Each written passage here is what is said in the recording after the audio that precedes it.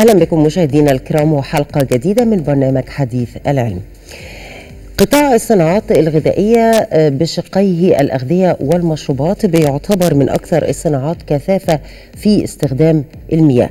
ونظرا لتزايد مشاكل التلوث البيئي الناجمة عن تصريف المياه الناتجة من عمليات التصنيع الغذائي والذي لم تتم معالجته بشكل بسبب مشاكل ومخاطر كثيرة كان من الضروري إيجاد حلول علمية وأيضا حلول عملية لمعالجة المخلفات الصناعية وخصوصا مخلفات المياه اللي بتحتوي على الكثير من الملوثات الكيميائية والبيولوجية والفيزيائية.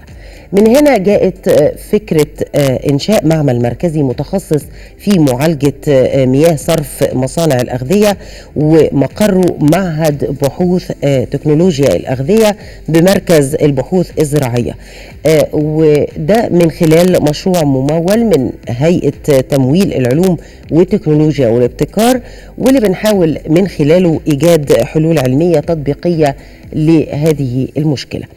للتعرف أكثر على هذا المشروع. يسعدنا أن تكون ضيفة حلقة اليوم دكتورة منال سرور أستاذ هندسة التصنيع وتعبئة وتغليف الأغذية معهد بحوث تكنولوجيا الأغذية بمركز البحوث الزراعية والباحث الرئيسي للمشروع. دكتورة منال بنرحب بحضرتك. في البداية عايزين نتعرف على ليه مخلفات المياه الناتجة عن صرف مصانع الأغذية بشكل عام ليها أضرار على البيئة بشكل عام. أولا عشان أعرف مياه المخلفات فبقول إن هي مياه جالها تأثير سلبي من صنع البشر. أيوة التأثير السلبي ده نتيجة ملوثات فيزيائية وكيميائية وبيولوجية الفيزيائية زي أي حاجة حجارة تراب أي مواد صلبة فيها. العقارة اللون الريحة الكيميائية زي الشحوم والزيوت والدهون والمواد الكيميائية معظم اللي هي المعادن الثقيلة موجودة في المية. البيولوجية نتيجة بعض الصناعات بتنتج عنها بكتيريا ممرضة. أي. الحاجات دي كلها لما بتنزل في الصرف أو شبكات الصرف بتأثر سلبا على الحياة وإنها بتطلع غازات سامة زي أكسيد الهيدروجين. أو كبريتيد الهيدروجين ودي بتأثر على الصحة العامة للإنسان. يعني مش على ما بيبقاش تلوث بيئي فقط ولكن بيبقى ليها أضرار على البيئة وعلى صحة الإنسان بشكل عام. لأن هي لما بتدخل الشبكات بيحصل تآكل بيحصل وجود الغازات دي فبتأثر طبعا عليها. طب عايزين مصانع الأغذية بشكل خاص. مصانع الأغذية بشكل خاص إنها كل صناعة من الصناعات الغذائية ليها مكونات. المكونات دي بتختلف من صناعة لأخرى فعشان كده بتبقى أكثر تعقيدا في عملية المعالجة لأن ما أقدرش أحط سيستم واحد يعالج كل الصناعات الغذائية. أيوه. طب بالنسبة لمشروع تصميم فلتر من السيليكا لمعالجة مياه صرف مصانع الأغذية في الأول عايزين نعرف إيه هي مادة السيليكا المستخدمة وفوائدها ومن أين جاءت هذه الفكرة؟ اولا السيليكا هي عبارة عن مجموعة من المعادن مختلفة في الخصائص بتتكون من السيليكون والأكسجين. أيوة. ودي بتنتج من الرمال اللي هي الحجرية أو الرمال اللي هي بنسميها زجاجية. ساعات بنسميها كده.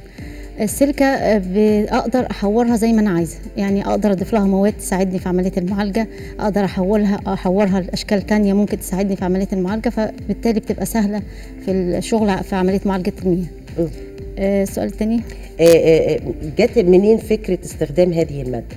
فكرة استخدام هذه المادة أصلا فكرة المشروع أساسا جاية من إن إحنا كنا كباحثين بمعهد تكنولوجيا الأغذية كنا بنزور مصانع فكان في منهم اللي بيعالج وعنده وحدة معالجة في منهم اللي ما بيعالجش أساسا في اللي بيعالج بيولوجي في اللي بيعالج كيماوي.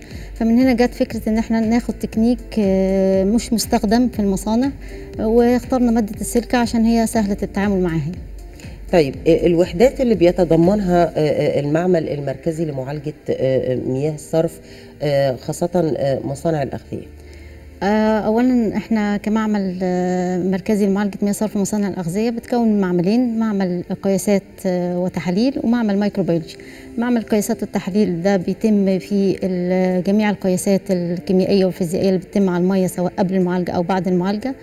كمان معمل ال microbiology آه، هيقيس الحاجات الفيروسات والبكتيريا الموجودة في المية أيوة. طبعا قبل وبعد المعالجة مم. وبالتالي أقدر أكون system ونظام آه، معالجة للمية كامل أقدر بيه إن أنا أديه للمصانع ويبتدوا يشتغلوا عليه في إدارة المخلفات طيب الهدف من هذا المشروع تحديدا هدفنا آه، كان في الأول إنشاء معمل مركزي طبعا عشان يحدد القياسات المطلوبة للمية سواء قبل أو بعد المعالجة. أيوه. آه، إن إحنا نقدر آه، يعني نحط database للمصانع آه، خصوصا مصانع الأغذية. database ده بي- بيديني فرصة إن أنا أحط تصميم أمثل لفلتر آه، لمعالجة المية وتصميم أمثل لوحدة إعادة التدوير المية مرة أخرى. مم.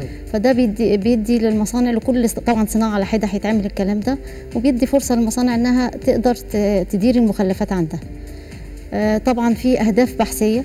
آه، الأهداف البحثية دي ال- اللي هي عن طريق المشروع بقدر أتعاون مع الجامعات والمراكز البحثية والشركات في تطبيق البحث بتاعي أو بتاعنا في كفريق عمل طبعا في المشروع. بيدي فرصة إن عن طريقه إن أنا أقدر أجيب مشروع تاني آه، لو نجح وادى عائد يبقى أقدر أجيب مشروع تاني يساعدني إن أنا أستكمل القياسات اللي عندي. آه، في أهداف خدمية طبعا هندي دورات تدريبية في مجال إدارة المخلفات آه، للمصانع آه، والمراكز البحثية طبعا والجامعات. يعني نقدر نقول إن آه، آه، الهدف من هذا المشروع تقديم خدمات لمن؟ آه، الخدمات هتكون بشكل أساسي لمحطات المية والشركات اللي هي مصانع الأغذية. أيوه. وبشكل خاص بقى للمعاهد والمراكز البحثية في عن طريق تحليل العينات آه، شغل طلبة الماجستير والدكتوراه. آه، في في الجهات دي. أيوه. طيب آه، آه، ال- آه، العائد اللي بتتوقعوه آه، من هذا المشروع؟ آه، العائد إن إحنا بنأمل كفريق عمل في المشروع إن أيوة. إحنا آه، يبقى في عندنا معمل مرجعي معتمد آه، للقياسات الموجودة في المعمل. الحمد لله معمل القياسات آه، هيبتدي يشتغل خلاص ومعمل مايكرو في الطريق لل- للإنشاء يعني قرب على وشك يعني. مم. وبنأمل إن المشروع يدر عائد آه، يفيد المكان ويصرف على نفسه. يعني أقدر أجيب كيماويات أقدر أجيب أعمل صيانة للأجهزة بشكل إن هو يصرف على نفسه يعني مش يعني التمويل هو تمويل طبعا التمويل حاليا من هيئة العلوم هيئة تمويل العلوم والتكنولوجيا والابتكار. ده بالنسبة للمشروع لمدة سنتين مجرد ما تخلص السنتين المفروض المشروع بيدر عائد يعني أيوة. بي- بيبقى فيه عائد. العائد ده آه، من خلال الخدمات اللي بيقدمها آه للشركات بالظبط أيوة. سواء دورات تدريبية أو تحليل عينات العائد ده المفروض إن هو بي بيدي برضه فرصة للمعمل إن يبقى في صيانة الأجهزة باستمرار آه، في اعتماد للقياسات الجديدة عندنا. آه، بيدي فرصة برضه إن إحنا نكون يعني نعمل مشاريع تانية. آه، تدينا فرصة إن إحنا نكمل بيها بقية القياسات الموجودة آه، آه، دكتورة منال هل يمكن آه، التنبؤ آه، بمكونات مخلفات مياه مصانع الأغذية؟ هو مكونات مياه مصانع الأغذية بالذات آه، مختلفة لأن ليها صفات مختلفة. يعني البي اتش أو درجة الحموضة بتاعتها مختلف الأكسجين البيولوجي بتاعها مختلف اللي هو ال BOD. فطبعا ما أقدرش أتنبأ بيها إلا إذا آه، استهبأ. يعني في قياسات بتبقى تتم قبل المعالجة وفي قياسات بتتم بعد المعالجة.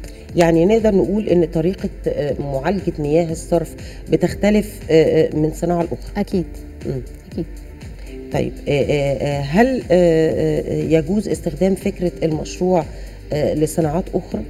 ممكن طبعا بس إحنا طبعا عشان تحت مظلة معهد التكنولوجيا الأغذية فمهتمين أكتر بالصناعات الغذائية لكن ممكن يستخدم في حاجات تانية زي إيه بقى؟ يعني ممكن يستخدم في المخلفات بتاعه البترول بتاعه الكيماويات الحاجات دي هتبقى بنفس ال- ال- القياس أو بنفس المقاييس؟ بنفس المقاييس اللي هي بس مش هتبقى بنفس المكونات يعني. ه- طبعا هتختلف على حسب الصناعة اللي أنا هستخدمها أو آه. اللي أنا هستخدم فيها المشروع طيب آه، م- م- من وجهة نظر حضرتك إيه هو معيار آه، آه، نجاح عملية المعالجة؟ اولا معالجة المية بتتم في ثلاث مراحل مم. المرحلة الأولى مرحلة أولية ودي بتبقى عملية screening يعني زي تصفية للمية من. الحجاره والمواد الصلبة والح- والحاجات دي بعد كده بيبقى في أحواض للترسيب بيرسب فيها المواد العالقة وبعد كده في secondary اللي هو المرحلة الثانية دي بتبقى عملية بيولوجي اللي بتحول فيها ال- ال organic لإن organic يعني مواد عضوية الغير عضوية أيوه. عشان أقدر أتخلص منها. وبعد كده المرحلة الثالثه اللي بتخليني أتخلص من المواد اللي أنا ما عرفتش أتخلص منها في المرحلة الأولى والثانيه زي. المعادن الثقيلة آه، الدهون بروتينات الحاجات دي. لو أنا وصلت في الثلاث مراحل دول عن طريق المشروع إن أنا أقلل التلوث في المية بالنسب المسموح بيها يبقى أنا كده نجحت في عملية المعالجة. هل آه، آه، آه، بدأ التطبيق الفعلي للمشروع ولا لسه؟ إحنا بداية إحنا لسه يعني المعمل ابتدى يشتغل فقياس عي- عينات بادئين بقى في موضوع تصميم الفلتر لسه يا دوبك هنبتدي يعني. تتوقعي حضرتك تنتهوا منه إمتى؟ إحنا خلال السنة الجاية إن شاء الله يعني خلال السنة الجاية إن شاء الله يعني قبل انتهاء المشروع طبعا المفروض المشروع هينتهي 22 8 أو آه، سنة 22 فإن شاء الله قبل انتهاء المشروع هيكون آه، الع- العائد جاي يعني إن شاء الله. طيب بعد معالجة آه، مياه آه، مصانع الأغذية آه، عالجناها هل ممكن المصانع تستخدمها مرة أخرى؟ ممكن ان هي المية أصلا بتعالج يا إما بتروح بس في الصرف وده لازم أعالجها يا إما بتروح في الري. يا إما بتروح في الصناعة تاني بعيد استخدامها تاني. آه. طيب آه، آه، آه، إزاي نقدر نعمل تنمية الوعي البيئي لدى المجتمع؟ عن طريق الدورات التدريبية والارشاد أو الارشادات اللي بنقدمها للمصانع لمحطات المية للجامعات للمراكز البحثية مم. في في إدارة مخلفات مصانع الاغذيه أو يعني في إدارة المخلفات عموما سواء صلبة أو سائلة طبعا إحنا في المشروع مهتمين بالسائلة لأنها بتشكل عبء على البيئة فده آه ليه بتشكل عبء على البيئة؟ لأنها كتيرة جدا آه يعني كمياتها كبيرة جدا والمصانع الأغذية كتيرة واستثمار الغذائي ابتدى يزيد آه، فبالتالي في مخلفات أكتر مم. فبالتالي بتشكل عبء على البيئة. طيب آه، آه، برضو هسأل حضرتك بالنسبة لتنمية الوعي البيئي والتأكيد على التنمية المستدامة وإعادة تدوير المخلفات مرة أخرى واستخدام الطرق الحديثة للمعالجة إزاي نقدر نعمل كل ده أولا معالجة المية آه، مجال واسع جدا. جدا يعني في طرق كتيرة وفي كل طريقة لها نظام و والمواد اللي بتستخدم مختلفة طب ففي حضرتك اشرحي لنا الطرق بتاعت آه، استخدام معالجة المياه يعني في ناس بيستخدموا أو مصانع بيستخدموا كيماويات مم. للمعالجة في ناس بيستخدموا شبة في ناس بيستخدموا آه، مخلفات. آه، للمعالجة. إحنا مثلا داخلين في موضوع إن هو نستخدم السيليكا فكل حاجة بيبقى ليها طريقة. أيوه. وليها system في نظام التصنيع بتاع وحدة المعالجة فيها ليها system في في اللي هو الفلتر اللي هيعملوه أو اللي يتعمل عن طريقه. يعني كل حاجة ليها نظام فطبعا آه، التنافس فيه كبير يعني في في حاجات كتيرة جدا أقدر آه، أستخدمها في معالجه الميه. عشان كده مش مش آه، سهل إن أنا أقول أنا ليا نظام معين هقدر أعالج بيه أنا إحنا عن طريق المشروع بنحاول إن إحنا نطور في موضوع المعالجة بحيث أوصل لمية أقدر أسترجعها تاني. أقدر أستخدمها تاني. طيب دكتور منال آه، إيه اللي بينقصنا في مجال البحث العلمي خصوصا في مجال معالجة آه، آه، المياه والله إحنا محتاجين تشجيع للاستثمارات التكنولوجية وال- والأبحاث التطبيقية خصوصا اللي ليها مجال علاقة بالبيئة مم. آه، يبقى في تطبيق من البحث ال- يعني تفصيل ما بين البحث العلمي وال- والمصانع بحيث إن أنا لما أجي أعمل فكرة أقدر ألاقي حد يطبقها. هي الفكرة إن أنا بعمل مثلا مشروع إحنا الحمد لله معانا طبعا شركات في المشروع هتطبق لنا هتطبق فيها الفكرة ونسوقها. بس في حاجات تانية ما بقدرش يعني لازم يبقى في آه، اتصال ما بين البحث العلمي والمصانع. بحيث الجهتين يبقوا مستفيدين. أنا هستفيد إن أنا اطبق فكرتي وال- والجهة التانية هتستفيد إنها هتستخدم الطريقة وتنجح معاها وتوفر طاقة وتوفر فلوس. آه، آه، المصانع بتتعاون معاكم في هذا المجال؟ آه، بعض المصانع آه. طيب هل يعني حضرتك قلتي إن لازم المشروع يكون ليه يدر عائد. آه، من وجهة نظرك في آه، آه، بالنسبة للأفراد ال- القائمين على هذا المشروع حضرتك آه، عضو أساسي في هذا المشروع. آه، إيه الخطة اللي أنتوا آه، آه، درس يعني بتحاولوا تدرسوها أو تحطوها علشان آه، يقدر يكون هناك عائد وبشكل مستمر؟ اولا الخطة إحنا آه، طبعا من بداية المشروع إحنا لما جينا قدمنا في المشروع و- وفوزنا طبعا الحمد لله. ابتدينا في إنشاء المعمل دي كانت خطتنا الأولانية إن إحنا ننشئ المعمل أساسا أيوه آه، وطبعا نجيب الأجهزة وال- والحاجات الخاصة بالمشروع سواء كيماويات أو آه، زجاجيات عشان نبتدي الشغل. بعديها المرحلة التانية إن أنا أبتدي الشغل. أبتدي بقى آه، طبعا إحنا عاملين ورشة عمل قريب عشان نعرف الناس بالمشروع. آه. ودي هتعرف الناس التحاليل اللي عندنا والأجهزة اللي عندنا بحيث أبتدي آه، أجذب الناس ناحية المعمل إن هم يبتدوا يشوفوا الشغل ويبتدوا يدوروا علينا ويبتدوا يحللوا عندنا المية. آه، فبدي فدي الخطة الثانية إن أنا أدي بقى فرصة إن أنا أجيب عائد من آه، عن طريق القياسات في برضو معاها آه، ماشيين في حتة الدورات التدريبية. الدورات التدريبية اللي إحنا هنعملها للمصانع والشركات. في دورات تدريبية إحنا هنعملها للجامعات والطلبات ال- طلبة الماجستير والدكتوراه. آه بعد كده في آه عندنا تصميم الفلتر ووحدة آه إعادة التدوير لو عدنا للحديث عن معهد بحوث تكنولوجيا الأغذية آه، إيه اللي بيقدمه أنشطته إيه؟ آه ومعهد تكنولوجيا الأغذية بيتكون من ثمان أقسام بحثية. مم. آه ووحدة المطبخ التجريبي ووحدة اقتصادية التصنيع. كل وحدة بتختص بتطوير في التصنيع الغذائي. من أول آه ال- المادة الخام لغاية التعبئة والتغليف. فكل وحدة بتشتغل بحيث إن أنا أوصل بمنتج ذو جودة عالية وقيمة غذائية مع تقليل التكلفة بتاعة ال...